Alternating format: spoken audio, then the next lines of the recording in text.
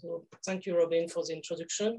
Um, so welcome everybody um, to this um, webinar dedicated to the NERC vocabulary server. Um, the vocabulary server can be accessed uses, using this, uh, this link. Our webinar will be in two parts. Uh, the first part will be done by myself, uh, and um, it will be an overview of, of what the NVS is and why vocabularies are important. And then the second part, Alexandra will take over for a technical walkthrough um, some of the base, technical basis of the NVS. So what is the NVS? Uh, it is a semantic repository for standardized terminologies that are used for the management of data in the marine and related domains. Uh, it stores and serves terms and their relationships and relationships between terms in a human and machine readable format. And here's a screenshot of some of the, of one of the page of our um, vocab server. So standardized terminologies are knowledge organization systems, um, also known as KOS. They range from simple list of terms uh, to full ontologies. So simple list of terms could be things like uh, glossaries, dictionaries, um, and they are used to organize information and to provide uh, terminologies to catalog and retrieve information by human and machines. As this diagram on the right uh, from Zeng uh, shows, um, knowledge organization system, the entities can be aligned along a gradient of increasing structural complexity and uh, range of functionalities. The main functionalities we are trying to address are eliminating ambiguity in language, managing synonyms, uh, establishing hierarchical relationships uh, like term A is broader than or narrower than, than term B, or associative relationships like term A is related to term B. And at the most complex level, attributing properties to objects. And this is what ontologies do, like uh, term A as name term B.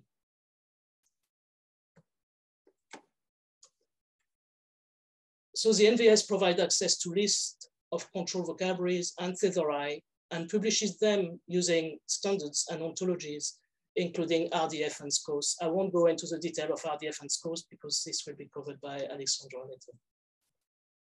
So the NVS in operation, how does it look like? It's uh, a few background information. It was um, launched in 2005 as part of the NERC Data Grid project, which was um, which was a first attempt to improve data discovery and access across distributed data sources, for mainly for oceanographic and atmospheric data.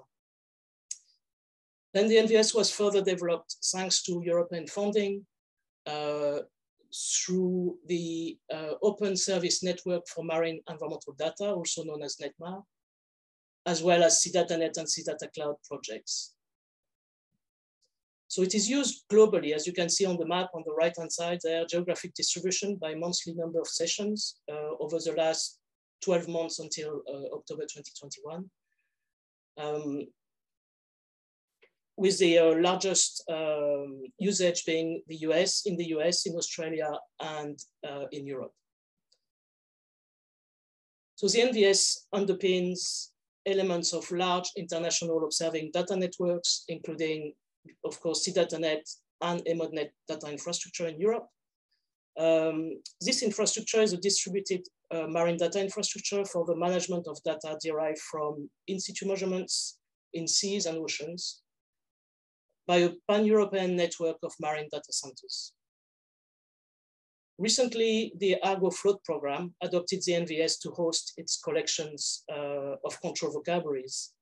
Argo is an important international program that has deployed some 4,000 robotic uh, floats over the last two decades in order to measure water properties across the world ocean.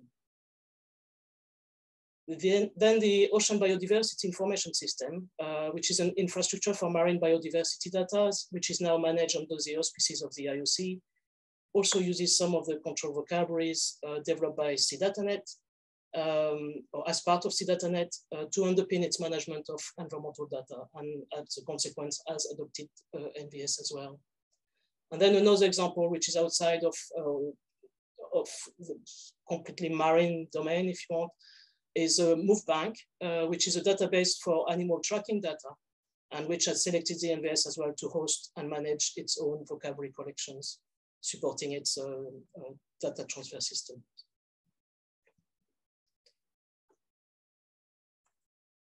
So uh, what is the NVS used for? Uh, well, it is used for two main purposes. One is semantic annotation and the, the other one is semantic alignment and mapping. So for the semantic annotation of data sets with machine accessible terms, that either those, because those terms uh, comply with their, the, the user's chosen metadata standards, or simply to harmonize information by introducing consistency in the terms used uh, for given concepts. This helps with the cataloging of the information and also with the creation of uh, reproducible validation workflows, for example. It also improves the accuracy and the selectivity of search tools and the efficiency of automated and semi-automated processing routines. Then the semantic alignment and mapping is used for improving interoperability and data integration uh, within domain and across domain. So here on the right is an example of, uh, it's a screenshot of the SeaDataNet search interface, which enables users to search data based on a wide range of criteria, thanks to standardized vocabularies uh, used to annotate, annotate the files.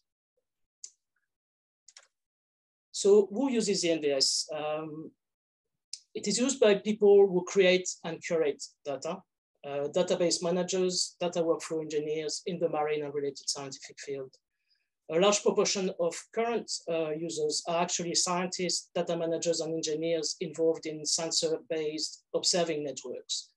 Uh, because of the growth in autonomous and semi-autonomous observations of the environment and the increasing demand of control vocabularies uh, that uh, is associated with that. And more and more, the NVS is also accessed by tools uh, developed by API and web users, web user developers as well. So the graph uh, at the bottom of the slide shows monthly number of users from October 2020 to 2021. And you can see that uh, for the second part of that year, uh, we had steady values between five and 8,000 users per month. So why is a dedicated vocab service so important? Well, it enables us to have a central repository of uh, shared vocabularies, shared, shared terminologies. Um, the content governance uh, associated with it and the gatekeeping ensures harmonious growth based on consistency in decision and adherence to vocabulary management best practices. Um, also, the human gatekeeping element helps improve content quality by ensuring that uh, no obvious errors are introduced and responding, also enabling a quick response to users' feedback. Uh, the technical governance ensures rigorous version tracking reliability of services, and up-to-date technology. Finally, having uh, such a dedicated service nurtures uh, human expertise, in-house human expertise and skills. Um, and finally, it also um, it also ensures a long-term continuity uh, uh that uh, or stable stable um, uh, stabilities that foster international and cross-domain collaborations. So what are the challenges? well, you could have, uh, the first challenges are related to language itself, of course. Um, here, uh, you can have similar items, similar objects with different words. Uh, of course, there's a well-known differences between the British and the American uh, English. Um, but even in the scientific field, um, conventions are many and adherence to a common language is difficult. So if you take this example on the right there from uh, ChEBI, which is a well-known repository for information uh, related to chemical entities of biological interest, you can see that for a simple molecule, it lists 20 different synonyms. Uh, and for, for simple molecules that is commonly known as uh, ethanolamine. So it's, and it's um, many, many chemical substances, especially contaminants, have a wide range of synonyms, which makes the um, transfer of information about those uh, chemicals very difficult. Then the same word can have different meanings. Um, and here, if you, there's an example of uh, the usage of pint in Australia. And depending where you are in Australia, you will have um, less beer for your money than, um, than in other states. Um, so this emphasizes a need for standards, of course. Uh, in this case, it would be the metric system, but also the need to, to have information uh, about the context around the term to avoid misunderstandings. So human brain is, is very good at understanding context implicitly, but machines will always need uh, context to be explicit. So in this example, um, for example, um, the it just writing temperature in the header of a column of a CSV file, for example, is not enough to make this data readily understandable by automated software we need to capture both the term temperature and its context in machine readable format. And in this case where, where the temperature was measured, uh, water, temperature for water body measured by a, sensor in the sea or different kind of um, uh, contextual information. But standardization is hard. Um, and this is a massive challenge um, but that can be helped by uh, using uh, semantic uh, resources. And this is be partly because it costs effort to change our ways. Um, however, the consequences are sometimes very costly. And if we take this famous example of the Mars Climate Orbiter, which crashed uh, to pieces in 1999 due to somebody in the processing chain assuming uh, that the data they received had already been converted to metrics, while in fact they were still in English or imperial units. So this costly disaster might have been avoided if control vocabularies and metadata standards had been used. Um, and by having a mandatory field, for example, for units in a machine and human readable format in the data being transferred to NASA, a program could have been written to validate the data. So another challenge is to keep pace with new terminologies. Um, as new methods are invented, new discoveries made, new concepts created.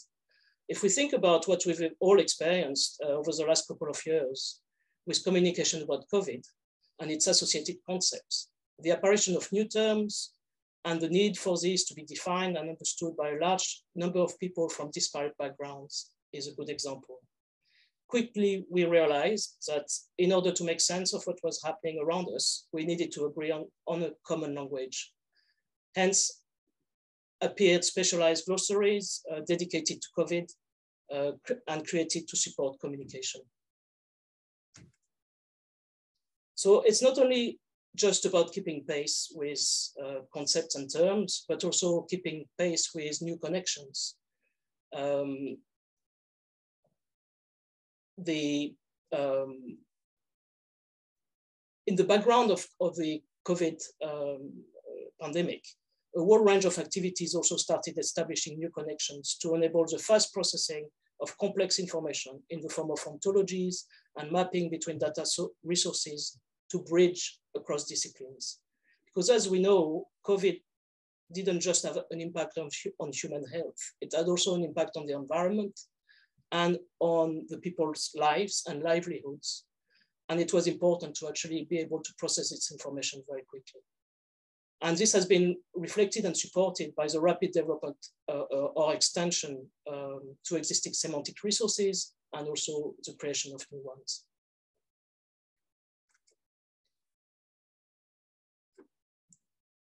So another challenge is the proliferation of terminologies.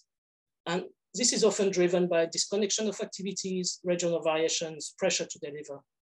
And here on the right-hand side, there is an example of uh, beach litter guidelines for, uh, where there are many guidelines um, according to different regions, and they don't fully overlap, they don't fully uh, align. And it is um, it is important. So, so the, object monitored are not the same everywhere in the world. So it's very difficult to have a global assessment of the impact of uh, beach litter. Um, so this is resolved by, the, uh, by uh, setting up a, the establishment of a global partnership that can help align existing content and ensure that future growth remains aligned so that global impact can be assessed. So semantic artifacts uh, are often referred, oh, sorry. Um, so the um, another aspect is the, um, the importance of data quality. Um, the um, data annotation is a facilitator in the journey of building reliable uh, artificial intelligence and um, machine learning. However, the output is always only as good as the input. And there's always, um, that outputs sometimes suffer from the GIGO garbage in, garbage out principle. So, and it was illustrated recently by the publication of uh, this study by MIT, uh, which discovered some uh, substantial errors in, in data sets uh, used for machine learning uh, benchmark, where images were mislabeled. And uh, so it's important to use trusted data sets that have been validated by humans in order to um, in order to trust the, the output of uh, processing.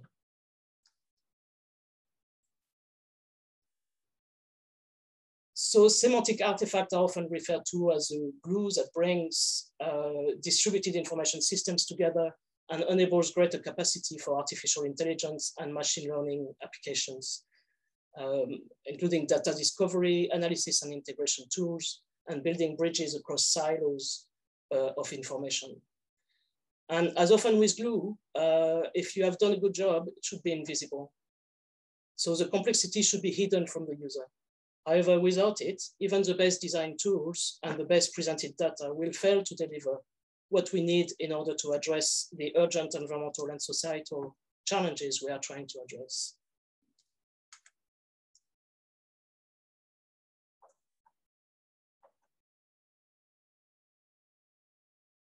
So it is important to annotate data with standardized fair terminologies in order to improve findability, facilitate interoperability, and optimize reusability. And it is not sufficient to have open data, but linked data in order to connect data sources and services in the digital world. In 2006, Tim Berners-Lee challenged us to envisage the World Wide Web as a semantic web, a web that is not just about putting data out there, but also about making links so that a person or machine can explore the web of data with linked data, can explore the web of data. With linked data, when you have some of it, you can find other related data. And now I will pass on to Alexandra for the technical part. Thanks, Gwen. That was brilliant. So in this technical walkthrough, um, I will explain what are the building blocks of the technical infrastructure of NVS.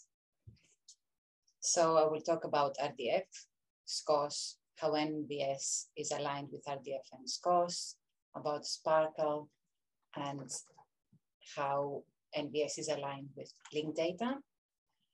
Um, and at the end of this technical walkthrough, um,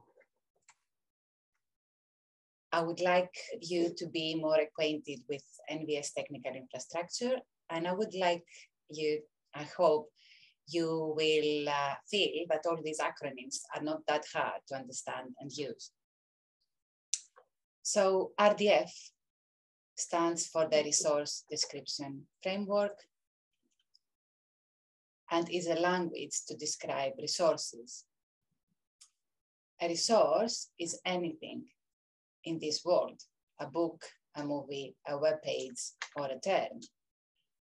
And in RDF, this thing has to be identified by a universally unique identifier or a URI.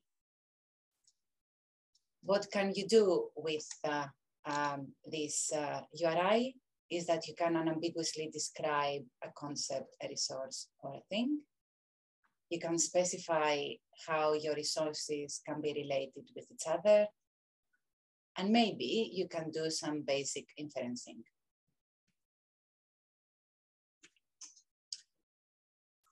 Uh, in RDF, everything is expressed as statements um, that are called triples, and they have a subject, a predicate, and an object.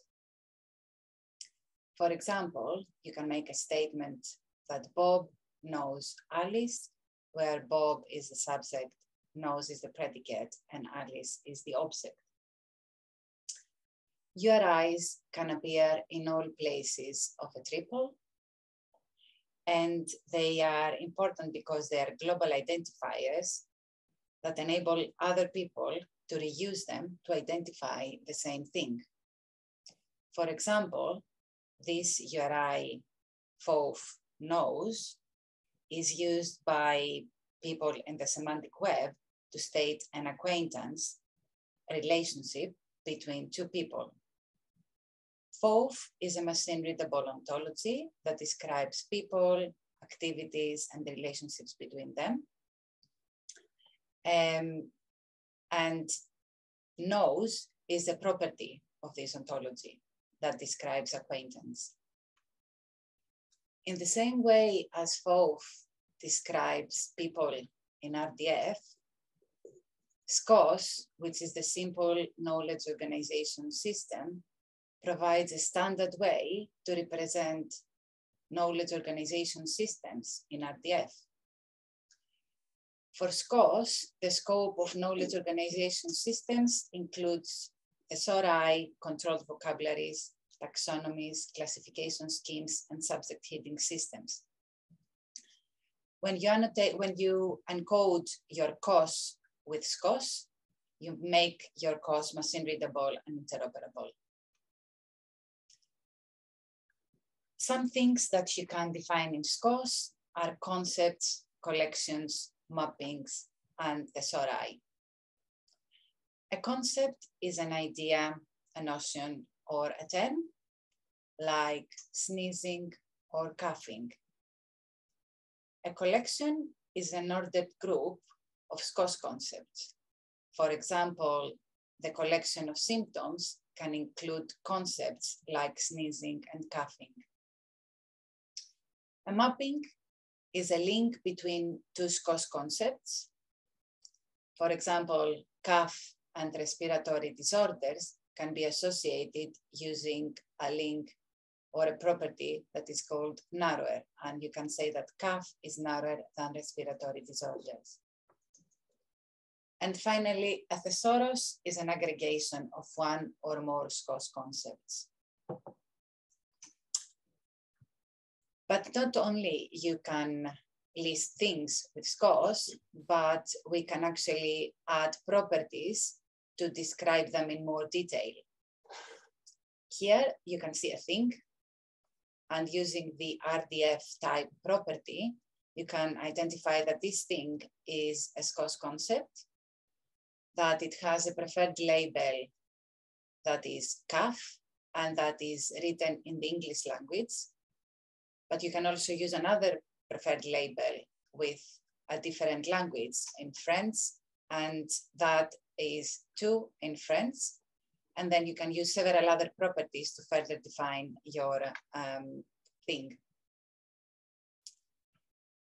The things that we describe in NVS um, are SKOS concepts like high volume air samplers, CAE weather station, meters, moles per second, etc. These SKOS concepts are grouped into collections like the device catalog L22 or the units of measure P06 or the device categories L05.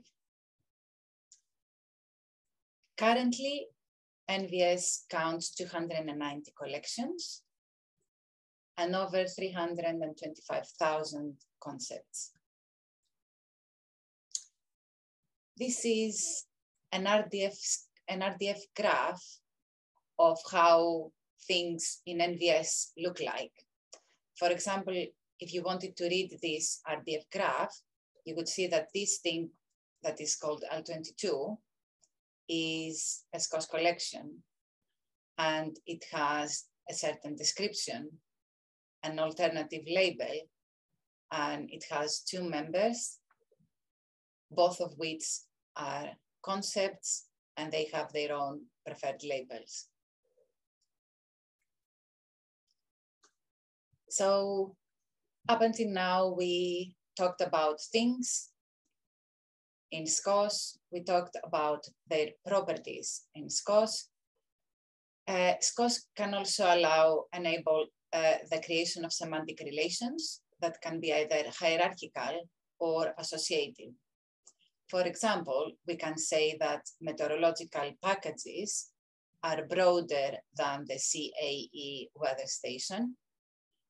And here we establish a hierarchical relationship, but we can also say that CAE weather station is related to its manufacturer, which is CAE Italy, and that's an associative relationship. We can also establish external mappings, which means that we can associate NVS concepts not only to concepts from NVS, but also to um, concepts of other vocabularies like uh, this concept, which is meters from our P06 vocabulary, which we have established that it is the same as the meter from DBpedia or the meter from QUDT. And this is a high level view of how one collection is related to several other collections inside NVS. You can create more of these diagrams and maps in that link on the top right. Uh, as we said, um, in NVS, we list collections, and each one of them has a unique URI that follows a certain pattern. This is the pattern, and here we saw that our collections all have a three, um, three character string. For example, this is the URL of L22 vocabulary. Concepts in NVS have a unique URI. And the pattern that they follow is that they have to belong into a certain um, collection and then uh, they will follow with their own uh, unique uh, identifier. Uh, concepts also have versions, so you can track how they've evolved through time. And the version is a number at the end of the uh, concept's URI. Oops. Um, okay. Um, and finally, oh, okay. And finally, we have uh, unique URIs for mappings as well. And we identify our mappings, we divide our mappings in internal and external ones. And this is an example of a unique URI for a mapping. Um, now, we, we talked about the RDF, the SCOS, and the URIs. All of these can be stored in a triple store, which is a specialized graph database or a database where you store RDF triples. These triples can then be queried online using the SPARQL query language, which is the equivalent of the SQL language for relational databases. Several of our tools in NVS are based on our SPARQL endpoint.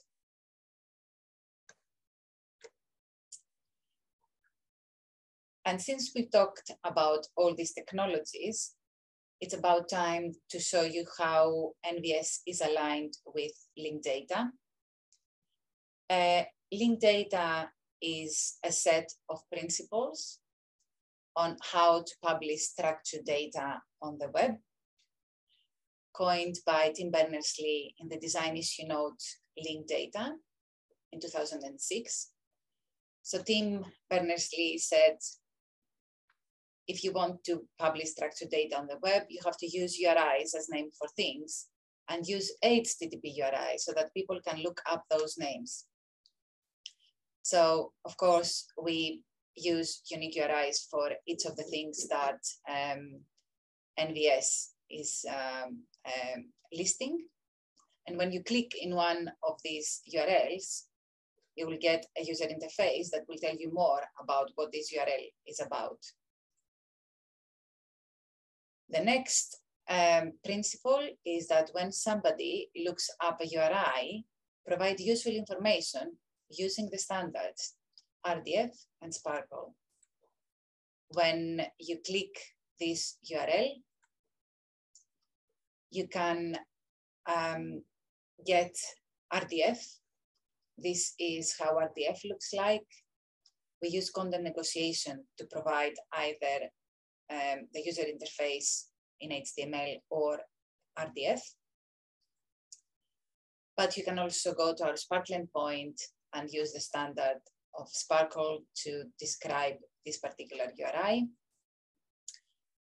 And the next principle is to include links to other URIs so that people can discover more things.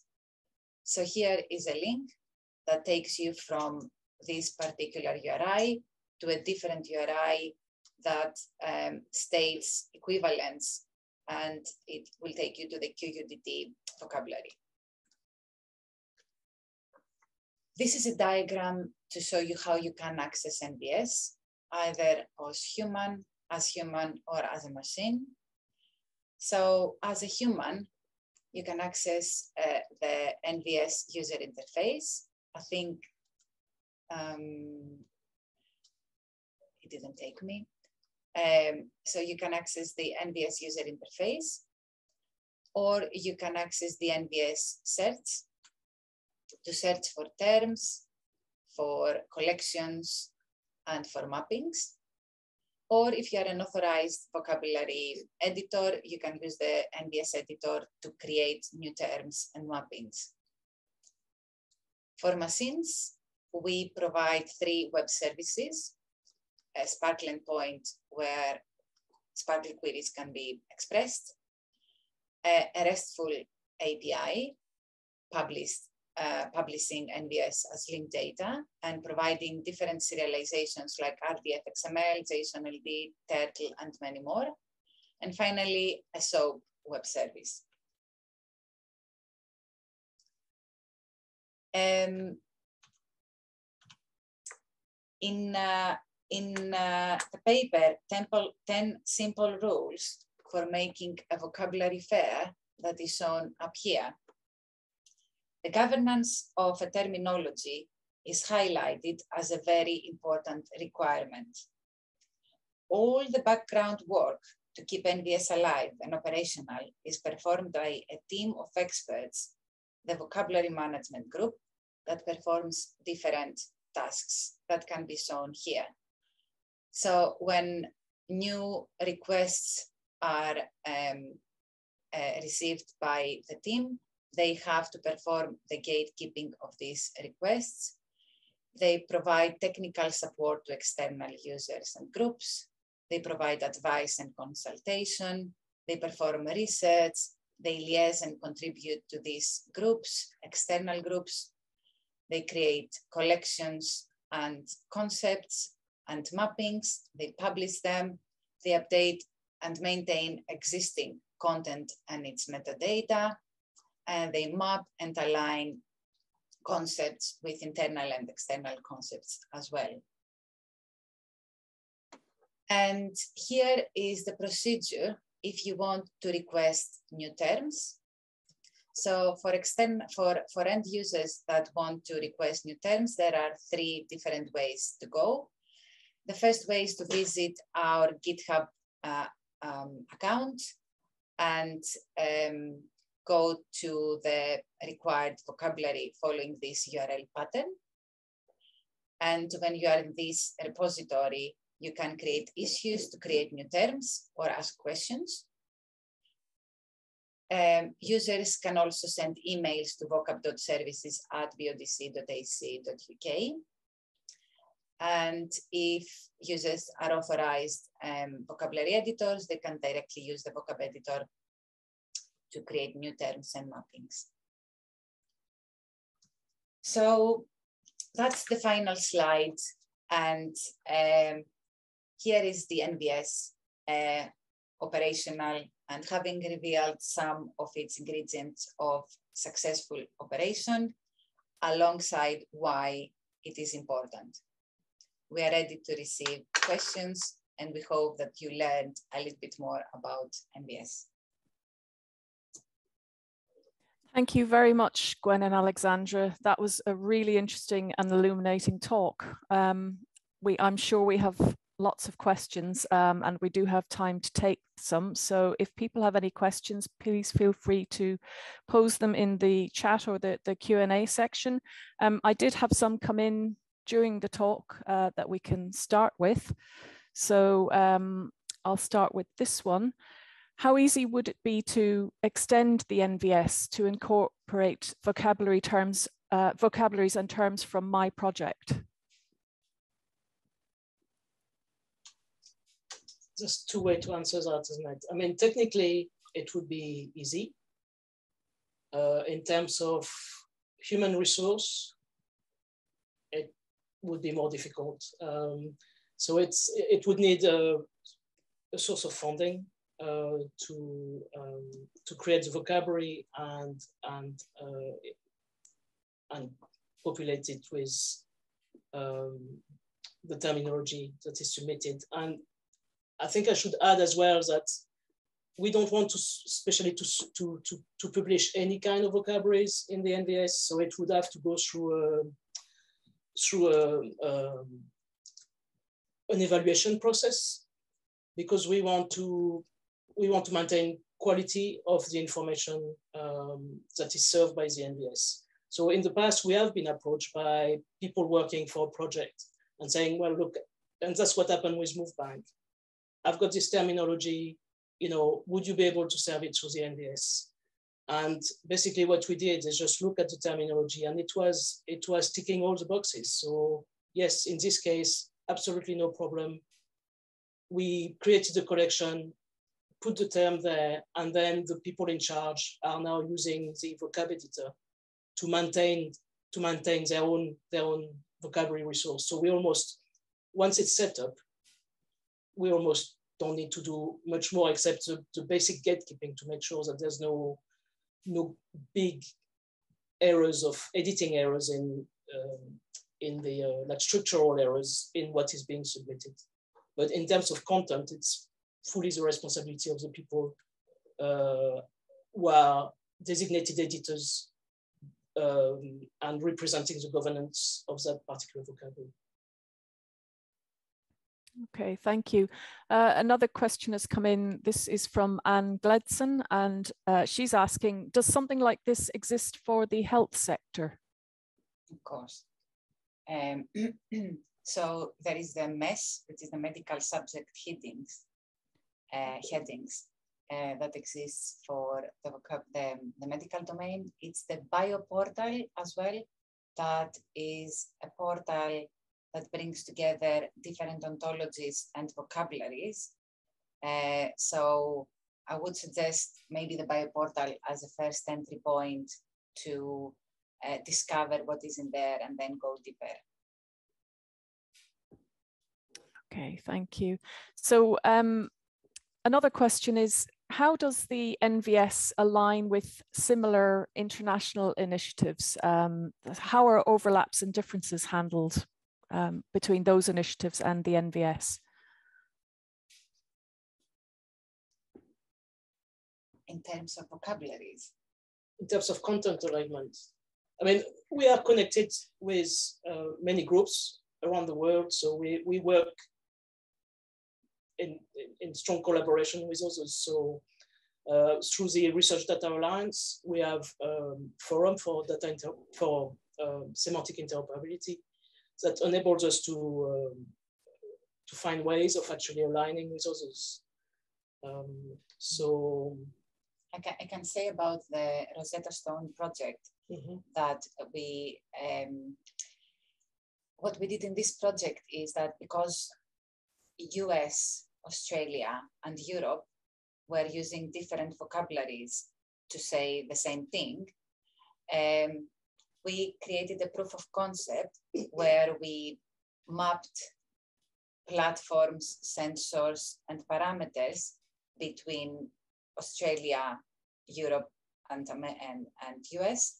And um, we created translations, and then uh, a software could go on top of this translation and discover data sets that uh, existed um, uh, for, for a certain um, um, keyword that existed in all of these different repositories uh, across the world.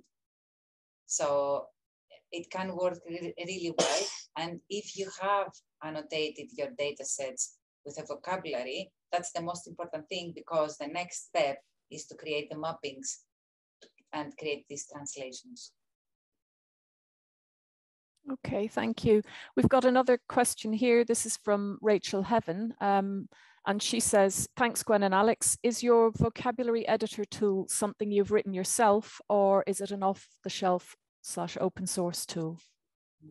So the editor is, um, is an ad hoc tool. It was written in, in BODC, I would say years ago. We've recently uh, revamped the tool. Uh, it's not very open to many users. So there are not many authorized users that we have allowed that to, to be used uh, for, but we intend to open it up uh, more so that people can actually uh, self-manage their vocabularies. Okay, thank you. Uh, I've got another question, uh, which is we, we hear a lot about the fair data principles. Um, so what are the ways that approaches such as NVS can help the move towards um, being fair? Um, first of all, the I2. So from the FAIR principles, the I2 principle says that you have to annotate your data with vocabularies that are fair in order to achieve the interoperability. So and that's why we said that it is important to uh, use vocabularies to make your data fair, but it's also important to use fair vocabularies to make your data fair. Um, it will, it is one of the requirements for fair, for the fair uh, movement to annotate your data with vocabularies. Okay. And basically, uh, data can't be interoperable unless they are annotated with machine readable vocabularies. They just otherwise they don't they don't comply with that interoperability element. Yeah, it's it's the building blocks.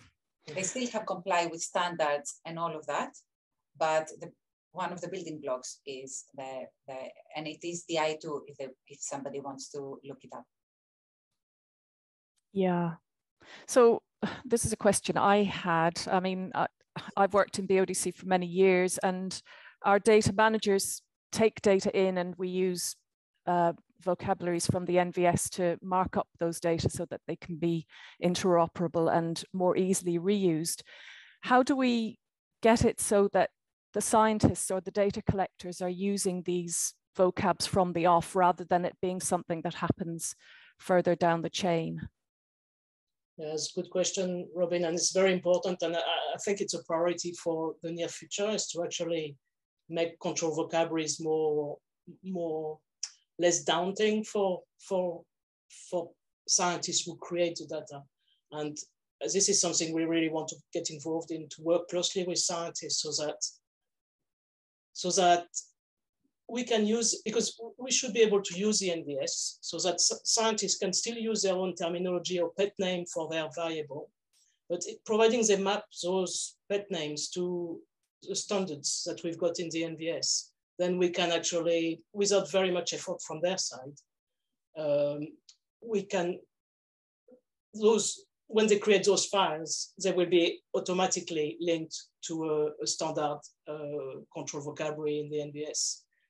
Um, and it's very important for us as well as a data center and as data managers, we would have a much more efficient workflows if we didn't have to retrospectively try to understand what the scientific variable is, what the methodology was, or what the instrument was. If all that came to us already uh, quality controlled and approved by the scientist who actually was involved in collecting the data, rather than doing that sometimes maybe three years after the data was collected. So it's, it's a really important um, priority, I think, for, for our, our area of activities there.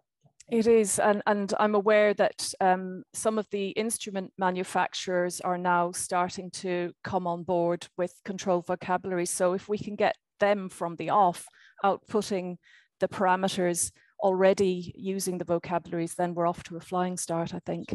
Yeah, that would be, yeah, brilliant. brilliant. Yeah, yeah. Okay. Um, so I suppose another question is, what are the big challenges facing the NVS in the next three to five years, do you think? I think the main one is sustainability of funding, um, because there's a lot of work happening in the background that people don't always realize.